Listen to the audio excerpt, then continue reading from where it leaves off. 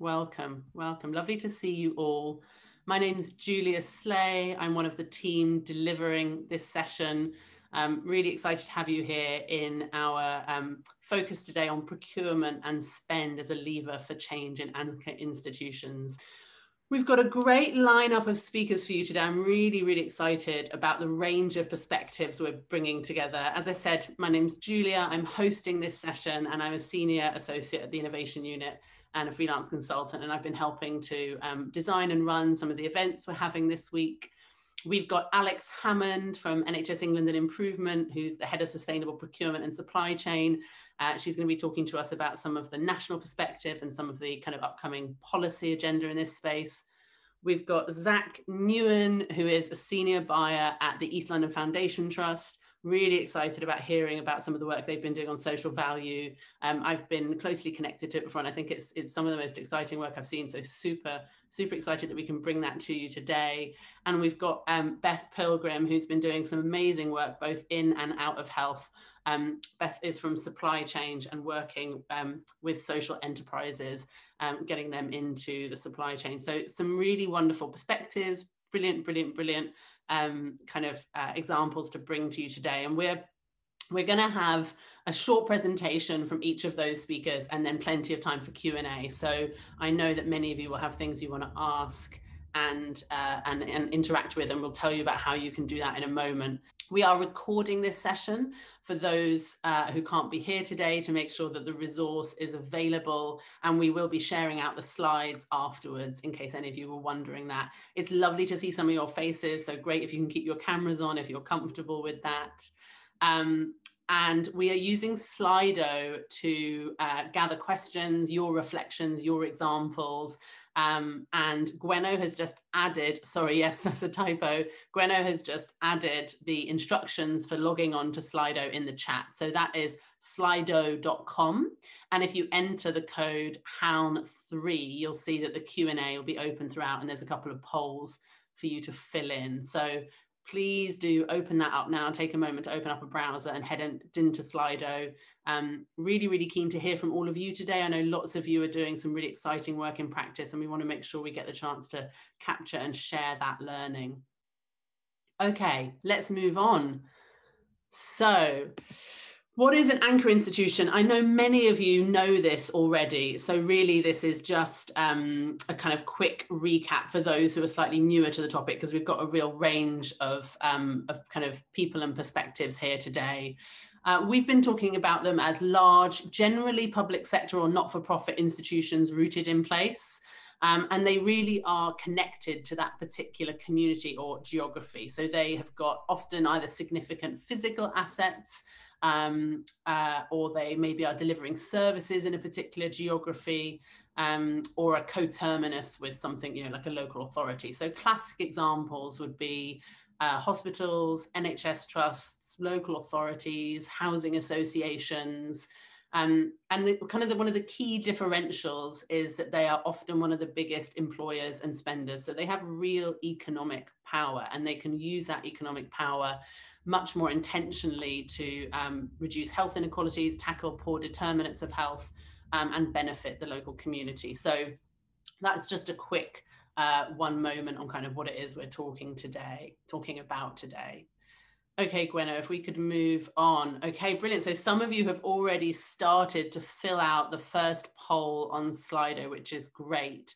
For those of you who've just joined or haven't had a chance to look at that yet, I'll give you a moment to hop on there.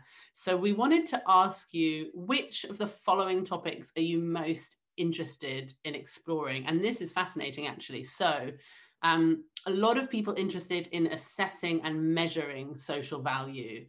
Quite a few of you um, looking at monitoring social value and managing delivery within contracts identifying priority groups to benefit from procurement. I know Zach is going to talk about this, and I think this is a really, um, you know, important area of focus for many people is trying to work out where they want that social value to benefit, who they want it to benefit, or which part of a, a town or a city or a region they want it to benefit um, it's changing in front of our eyes, isn't it? So there's obviously a lot of interest across the whole piece today, but then there's also quite a lot of interest in training, capacity building, and leadership.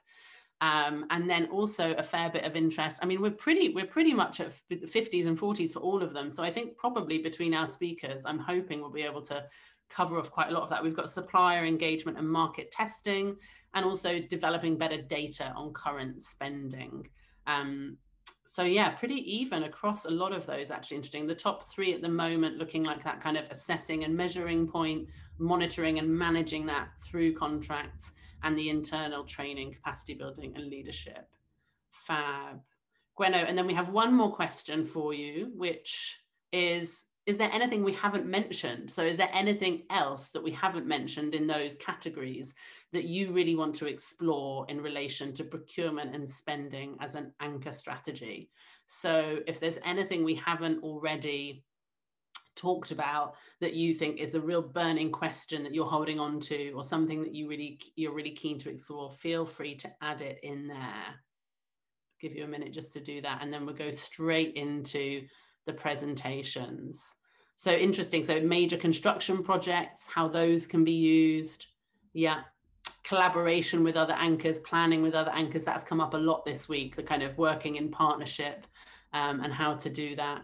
Great, really, really good point. And some of you may be part of um, anchor networks or anchor collaboratives. So some cities and regions are starting to form networks of anchors who are collaborating together, but not everywhere has that. So there's a kind of partnership collaboration infrastructure that varies depending on the place.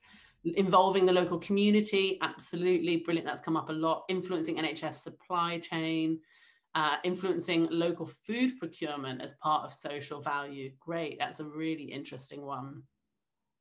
Um, and thinking about NHS organizations and charities and working across the ICS. Great.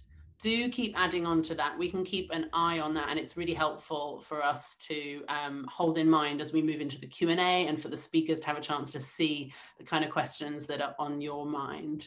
But for now, we're going to move on. So Gweno, Fab, thank you so much. So we're going to kick off with Alex. Um, Alex, I'm going to hand over to you and let you take it away. Thank you so much. Um, uh, thanks, everyone. It's lovely to see some people here and um, and to have a chance to introduce myself. Um, some of you may know me from previous uh, work um, uh, at Guy's and St Thomas's and at ETL. Um, I've recently joined NHS um, England and NHS Improvement, leading on uh, sustainable procurement and supply chain. So big big agenda here. Um, and I just want to tell you a little bit about what we're doing. Um, uh, if we could move on to the first slide, that would be fab.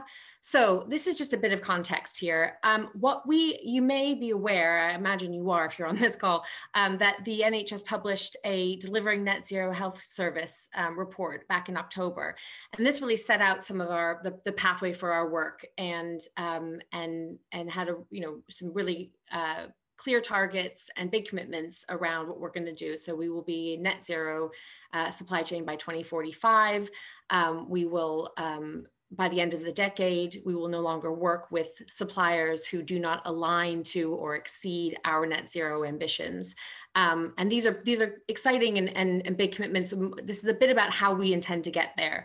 So um, within our program, we are looking at net zero, um, but we also are looking at um, uh, stamping out modern slavery and um, how we integrate social value. Now, we appreciate social value incorporates climate change.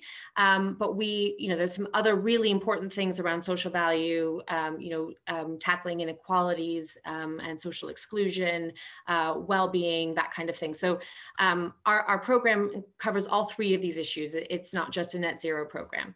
Um, if we can move on to the next slide.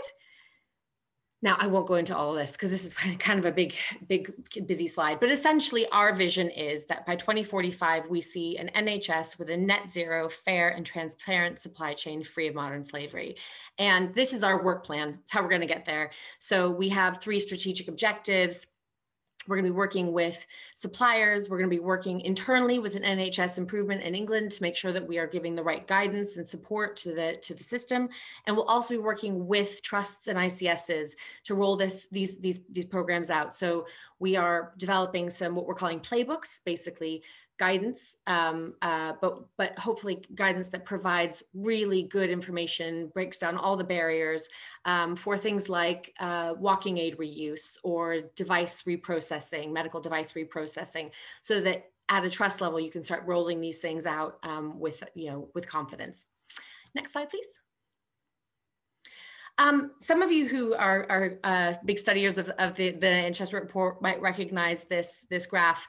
Um, this is these are the 13 things, the 13 interventions that we've identified we need to do in order to get our supply chain to net zero. So at the bottom, the blue line shows where we are at the moment, um, uh, far too much, um, and and the, the green bits and uh, yellow bits show where we can we can make a, a, big difference. So you'll see in there things like process and product innovation, so that you're working with our supply chain um, to help them help us to, to improve the way that we do things. But also, you know, we, we have things in there like um, reducing single-use plastics. You know, that has an environmental impact, certainly on wildlife, et cetera, but it also has a you know, carbon impact. Uh, metal instrument reprocessing, device reuse, all of these things. So, um, you know, we've got a lot of things to to, to get to work on, um, and uh, and we will be talking lots more about this um, much more openly in the public uh, domain um, in in the next few months. Next slide, please. Don't worry, I won't quiz you on this one, nor will I um, expect you to be able to read it all because it's all quite small. But this is our work plan. This is our five-year work plan. It's just really to show the scale and the scope of what we're trying to do. You know, this is a the, the I've worked in the NHS now for uh, nearly 12 years, and sustainable procurement has always been that, you know, that kind of uh, hard to hard to do thing got put in the too hard box. And um, what we're trying to do as a team within nhs england and improvement is take it out of the hard to do box and put it into the easy to do box. Make it really clear make it really um, uh, easy to, to to participate with and um, and support our our suppliers to support us. So that's what this is this slide is all about next slide please Brilliant. So social value. This is really our topic of today, and I and what I um I will just go over really quickly now. I think those of you who are on this call are probably well aware of of what social value includes, but um, just as a reminder, these are sort of the five pillars of social value as defined by UK government.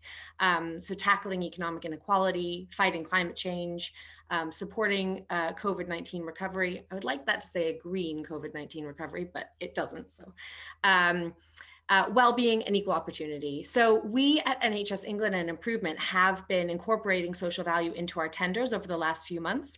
As of the 1st of April, it's mandatory to go into every single tender that a minimum weighting of 10% on every single tender um, uh, needs to be uh, on some form of social value and um, and this is a process we're going through. Um, it's it has varying levels of success, but we're really trying to test it out within the commercial team at NHS England and Improvement to make sure that we get it right before we make it mandatory across the system.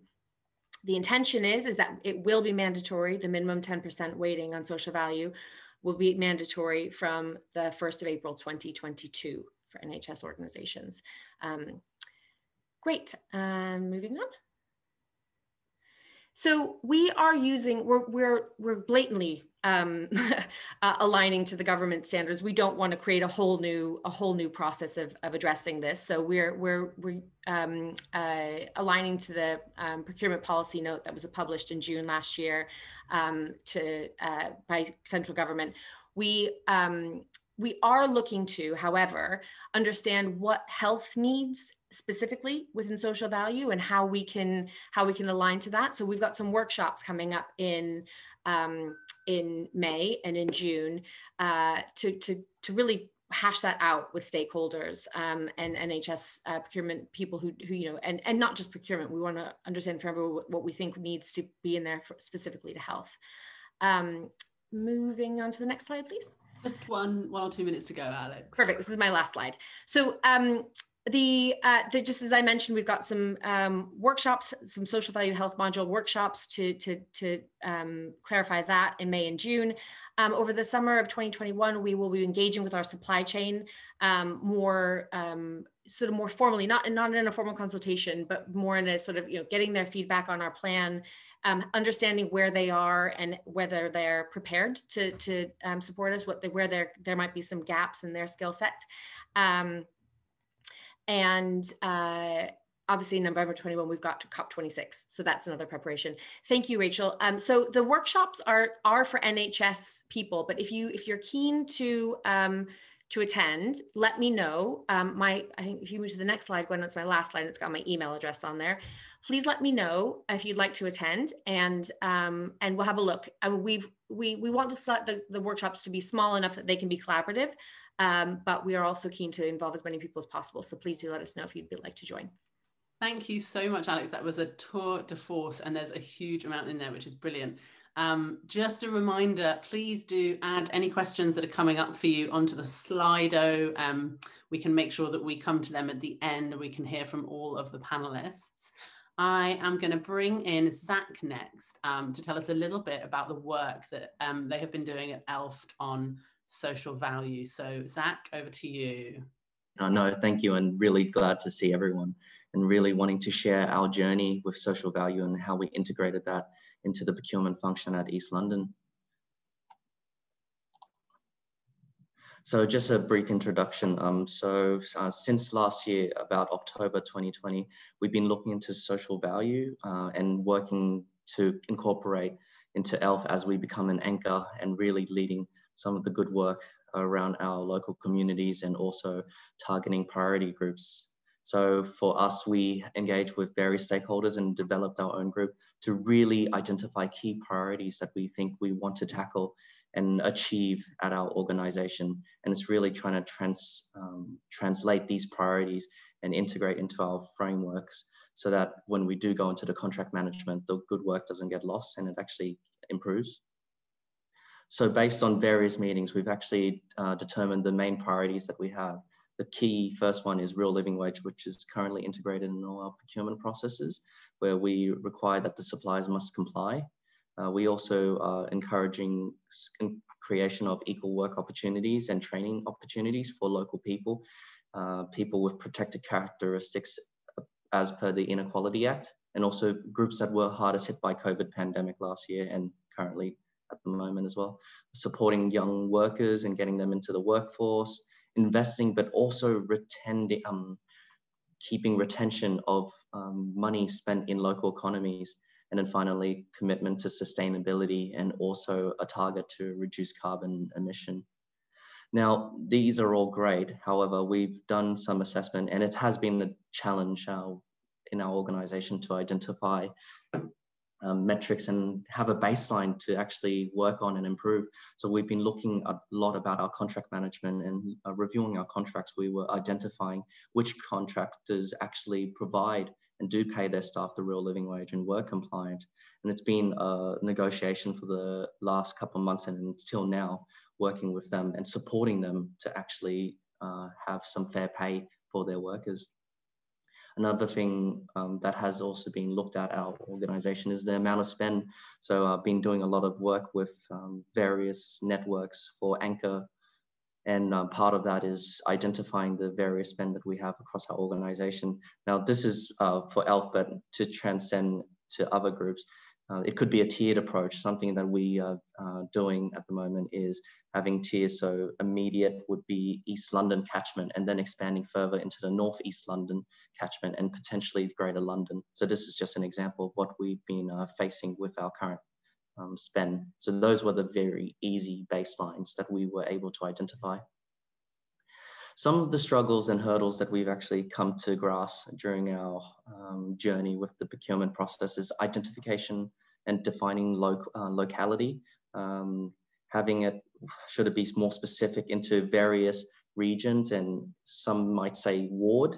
So for example, Limehouse within the Tower Hamlets area, um, or does it become more broad and more uh, general, such as London, uh, for our case, East London. So it's really identifying that and really following through with that um, kind of definition. The clarity on the priority groups, uh, this will depend on various organizations, but we decided to go with the protected characteristics as per the Inequalities Act. But in, as a mental health organization, we identified that there are other uh, aspects that we really needed to explore, which is service users, which is very important and key to our organization. Some of the questions that we do go out to tender, so now this is our proposals and it's trying to be compliant with the procurement regulations is record only. Now it's a bit bizarre to go out and ask suppliers to ask record only questions and not have them be assessed on it. But the benefit of this is that we're really trying to draw out KPIs to really encourage social value and um, delivering that in the contract management. I think that's a very key and missed opportunity with some organizations. They can really drive extra social value in the contract management and not just at the predetermined procurement stage. So an example would be a, a set amount of percentage of women workers and BAME workers. Um, now this I might not be assessing as a score to determine the award. However, this would be something I'd have as a KPI and working as an anchor on an organization to support the supplier to maintain and improve that kind of metric and level. Uh, qualitative processes uh, questions. So it might be strategies and plans and how they engage with various uh, groups. Um, one example would be having an equal pay strategy for women. Um, metrics that are compliant with the procurement regulation is also another hurdle and some organizations and procurement teams I've discussed have also faced concerns as well. You can't really place favoritism or having a disadvantage for supply just because they can't uh, metric. We're trying to be fair and equitable, which is always part of the procurement process. And then finally, it's a challenge um, for certain organizations, particularly the small uh, voluntary sector and also small medium enterprises, um, it can be a burden to actually do the monitoring and measuring these figures such as the carbon emission and also another aspect which um, has come based on various supply engagements we've conducted um, measurement of their protected characteristic workers it's um, not ethical or sometimes not ever measured um, so it's very um, coming up to light that there are challenges regarding some of the measurements. So what does it all mean? This actually feeds into something which is a wider picture. So there's a Northeast uh, London Charter that's currently in discussion. So this is an agreement with 14 organizations that have signed up. So it's including local authorities and NHS. And the idea is to work on a framework that really self-assess and identifies um, four main priorities. So one is how much your social values have been integrated into procurement. Maybe 5%, it may be 15%. So the higher it is, the better you score uh, as an organization and feeding into the Northeast London Charter. Um, also the percentage of your suppliers that are compliant with the real living wage, um, local uh, based suppliers within our Northeast London postcodes, and also the amount of suppliers that are small, medium enterprises. And this might expand further to uh, voluntary sector.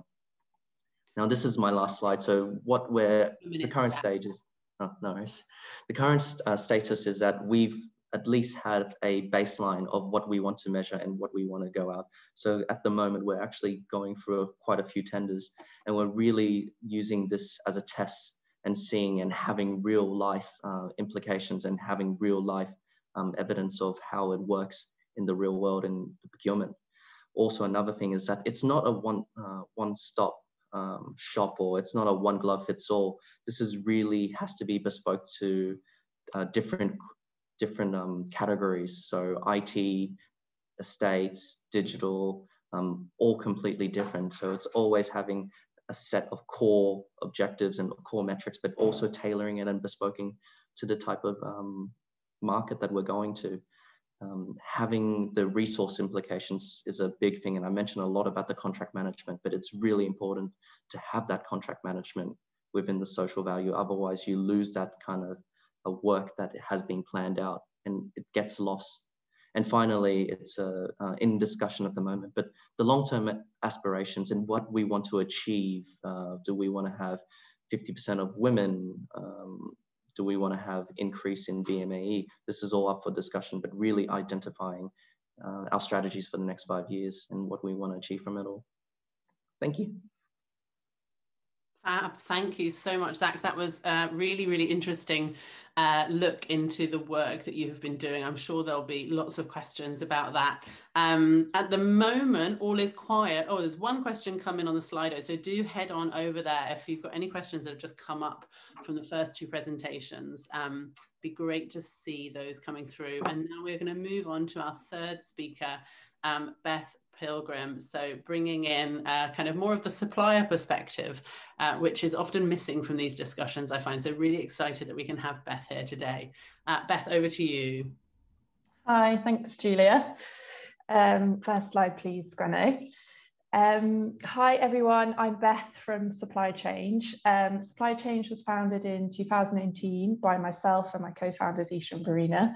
Our mission is to create a world where goods and services are commissioned with social and environmental value at their centre by increasing the number of social enterprises in public and private sector supply chains.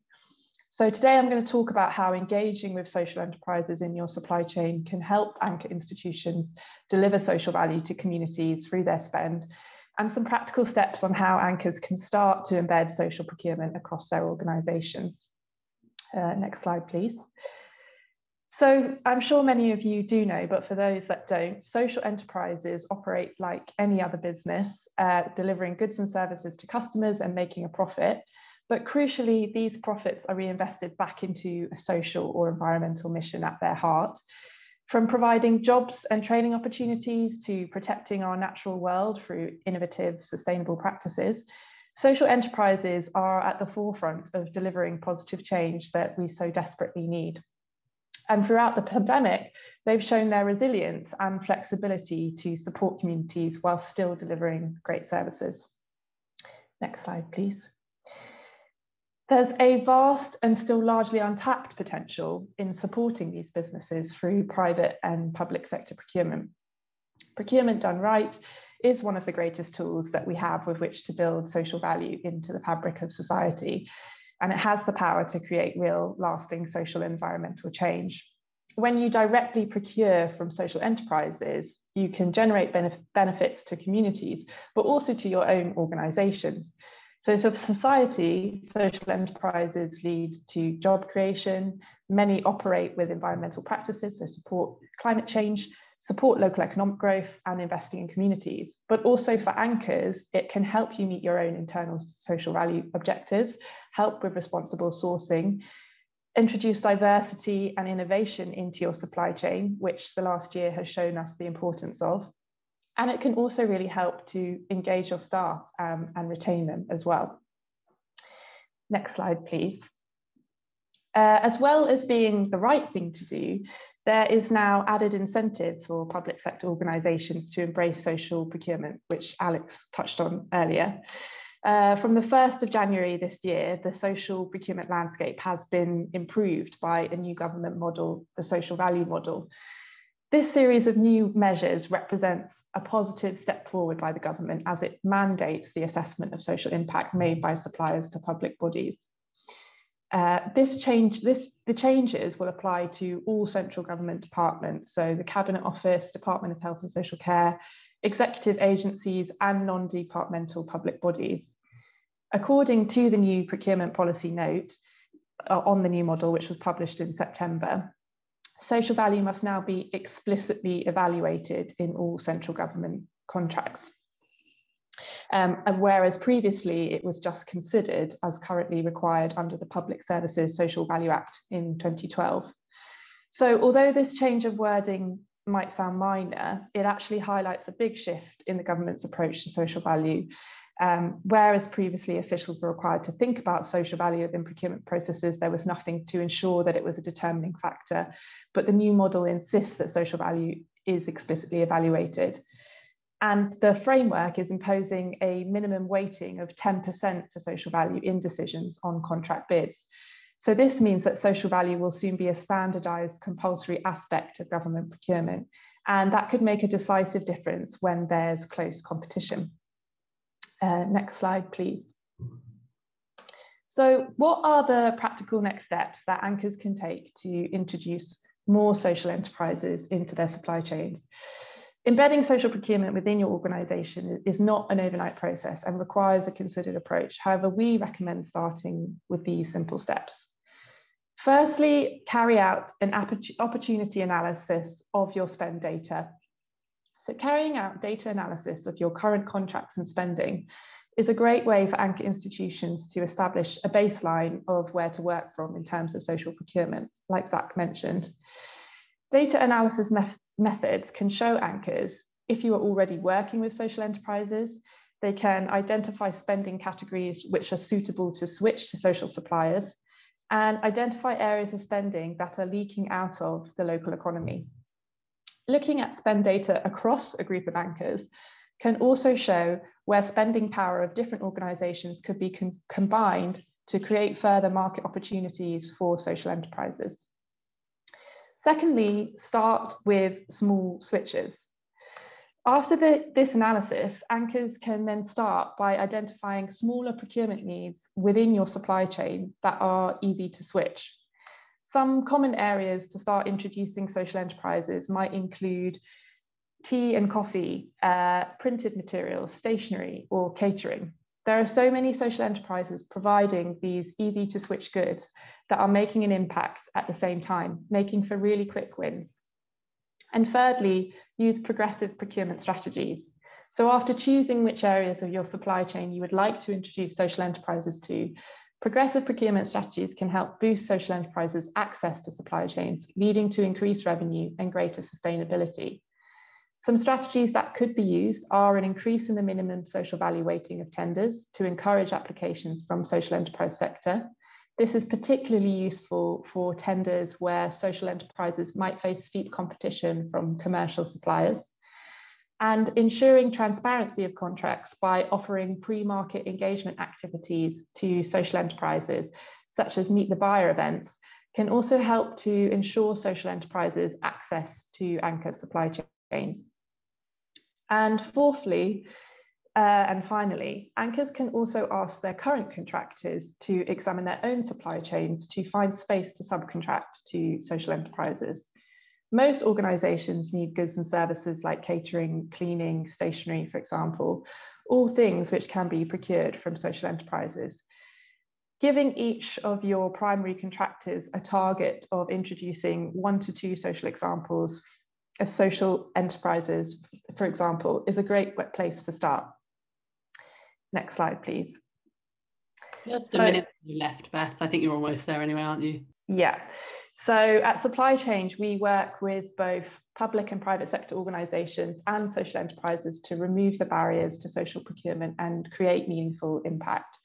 So for buyers, we offer a range of services to make buying from social enterprises easier, safer and quicker. Our spend analysis services help identify areas of opportunity in existing spending to switch to social suppliers. Our policy and reporting support, support helps to embed social procurement in organisational targets and track their impact. We run virtual networking events to connect buyers directly with social enterprises and raise awareness and internal support. And finally, we have the Supply Change platform, which is a directory of pre-vetted social enterprises that buyers can browse and find suppliers who will deliver quality and a positive impact. Um, so please get in touch if you would like to find out any more about our services. But that's me. Fab. Thank you so much, Beth. Some really interesting food for thought there. And we have uh, plenty of questions actually now coming through on the Slido. And I, if you haven't used Slido before, one thing that's quite helpful is you can upvote other people's questions. So I can see that there has been some upvoting going on. And so I'm going to start at the top and kind of work my way down. And the first one, um, I might come to you first, Alex, but others might have might have some thoughts about this too, which is about kind of how do we reconcile the drive for more centralized national procurement to reduce costs against local procurement. Um, yeah, do you want to kick us off and then and then Zach or Beth, feel free to hop in if you want to add on. I think there's um there's a balance that we need to strike, isn't there? I mean, it feels like we've there's opportunities where we can centralize procurement to make them more sustainable and make the sustainable option easier. So, um, uh, fleet cars, for example, comes to mind. You know, if we were to if we were to create a, a sort of centralized procurement for um, for zero emission cars and fleet for for NHS trusts to just sort of buy into. They just they don't have to do a procurement themselves. They can just use that procurement. Then that is it. You know that can help help deliver low emission or zero emission vehicles across the country faster. Um, I do appreciate we have um, a you know there's a pressure there's pressure on trusts and and ICS leads to to centralize their procurement and uh, there was a question earlier around um, SCCL or supply chain or mention of that in terms of the um, uh, you know the, the the issues that, that need to be addressed. We work very closely with supply chain sustainability team to make sure that the this the work that we're doing is also integrated into the work that they are doing. They're they're they've been doing this for a long time. There's a lot of good work that's happening in supply chain. So, you know, we not everything's going to be local. I have to say, I mean that that will that will be the case. Um, more should be local and more should be social enterprise. Um, uh, but I think we, you know, it's it's our job to find the balance between those two things and and and capitalize on where we are centralizing procurement, making those things, you know, getting the big wins in there, um, and and then also, you know, looking at what we can do on a local level as well. Mm. Thanks, Alex. Uh, feel free to hop in, Beth or Zach, if you want to. Otherwise, I will move us on. Okay, let's let's move on. There's another question coming up, which is um, around kind of advice that you might have for getting buy-in across your organization and or across multiple anchor institutions so what has been your experience about what's worked really in terms of getting buy-in um, Zach, I might come to you first because I know you've had some interesting conversations with your board about this and they're very invested and, and supportive. And also you've been working across the Northeast London patch and also in the City and Hackney network. So you've seen kind of different uh, scales of this, I suppose. So yeah, any reflections from you on what works to get buy-in? No, that's a very interesting point. Um, I think what it really comes down to is having a bit of a sponsor or a big executive um, person to actually just push and drive. Um, I guess in the case of my organization, we've had a lot of discussions about social value and ELF being an anchor, and it's it's one of the highest priority agendas, if not the highest, of our organizations. Um, how we would kind of collaborate with other organizations, it's a complete matter, and that's out of my scope of responsibility. But I guess what it comes down to is it's really starting the dialogue. Just I, I trust organizations um, might not be able to start now, but at least having that kind of discussion, opening the dialogue, and it might not be now, but in the next year or so, um, it opens up and it starts being a bigger priority. Mm, great. Alex or Beth, did you want to come in on, on what you've seen or learned from your work with anchors? I think um, it's about building a bit of a case for support. Um, certainly, in um, our experience, when you're um, convincing people of the benefits of social enterprise, um, I agree it takes sort of having a, a, a, an internal champion who is of a kind of senior standing. But I also think it takes sort of building that picture um, with things like showing, you know, spend analysis and showing what the opportunities are um, with pre-market engagement activities which allow your kind of staff to, to meet uh, local suppliers or social suppliers and learn a bit more about what they do and kind of get engaged with them um, to just sort of slowly build that culture of social procurement and get people to kind of just be more aware of it um, and educated about it. So I think it's it requires a sort of multi-pronged um, approach really and um, kind of not just uh, talking about, oh, but it's a good thing to do, but actually sort of stating the evidence and showing why it's kind of beneficial for a number of reasons. Mm-hmm. And certainly, oh, sorry, Alex, come on in. I was all I was going to say is I, I completely agree with with Beth on that. I think one of the things that we are um, you know we can mandate social value and we will we are mandating it um, in the nhs but it's it's about making it real for people. You know i think that's what i think a lot of people look at it as like oh god so how are we going to do the social value thing? You know?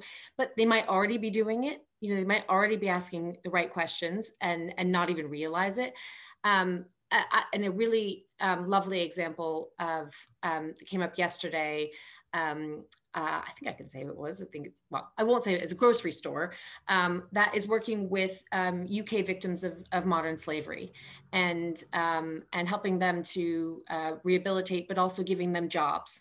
And, you know, this is, this is something that's real. These are people who have experienced, you know, terrible conditions. And this is a supplier that is saying to, uh, or a company that is saying to um, to to its board you know we're not going to just sort of pay lip service to social value. We're actually going to you know find these find people who have been victims of social of modern slavery give them roles within our our um, our stores and and train them up and give and bring them back into into society and give them the tools they need to succeed. And i think when you start talking about social value as real people it becomes so much more alive than if it's just i mean we have to we have to be careful. We don't sort of get into this like oh you know you must do this thing. Um, but but also you know it won't be an option not to. So it's about kind of getting the combination of those two things. Mm. well yeah and just to build on that because i think the thing that my mind meant to went to with that this question was finding opportunities to actually just test and learn and do the work. So there's a a small network of anchor organizations that I've been working with in City and Hackney, including the hospital, the local authority, the East London Foundation Trust. Um, and one of the things we, we started to do was to kind of map the procurement pipeline and look at where there were opportunities to collaborate as a network. And catering and concessions has come up as one area where there's a bit of appetite to do some work together. Now, this isn't about, it's not about a joint procurement exercise, but there will be some joint supplier engagement because actually the timelines for those contracts going out are similar enough and the potential suppliers are similar enough that it makes sense to do that together. And there's a real appetite to engage and support local suppliers um, in in those contracts. So that's a kind of i guess for me there's definitely something about what is the opportunity you've got to apply this work and to kind of test and learn as you go. Um, I also really agree with the sponsor point. I think um, in many anchor organizations that we've seen who, who really champion this agenda, there is someone equivalent to a kind of executive director or deputy chief executive who covers the kind of commercial services or corporate services, who's really the sponsor for this. And that makes a huge difference. Um, okay, so just moving on down the questions, there is a nice one here. Beth, I'm going to come to you, but again, others um, may have thoughts on this, which is around what are some of the barriers that social enterprises face that would be kind of quick wins to tackle or remove? So, what are some of the kind of obvious own goals that anchors might be doing? Um, yeah, great question. Um, well, there's unfortunately there's a lot of different barriers why social enterprises struggle to access public sector contracts. But I guess one of the ones that comes up repeatedly is around accessibility and visibility of opportunities. So actually knowing what contracts are out there um, that they might be suitable for.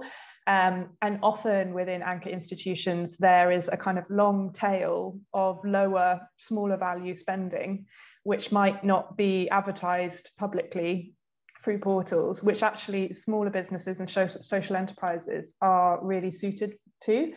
Um, and these might also be contracts where the procurement processes are, are quicker and they are quicker wins and they're easier to switch.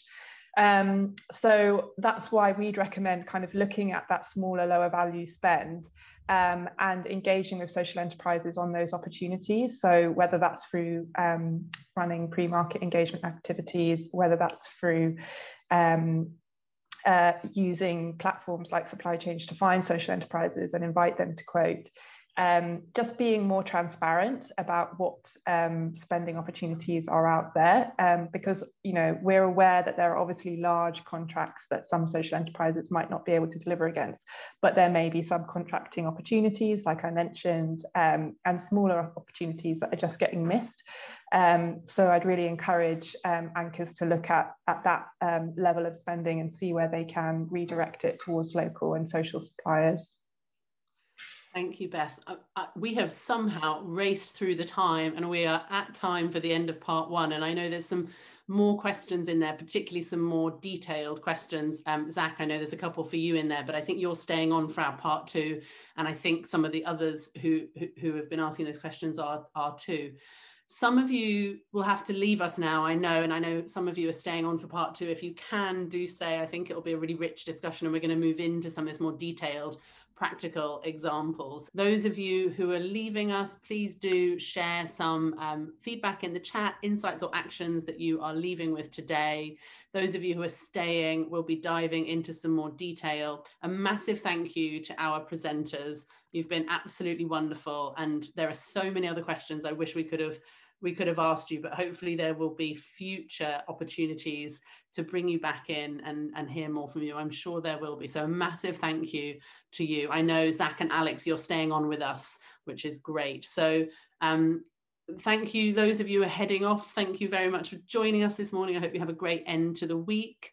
And those of you who are staying, feel free to grab a cup of tea and coffee and then come back and we will kick off at 25 past sharp.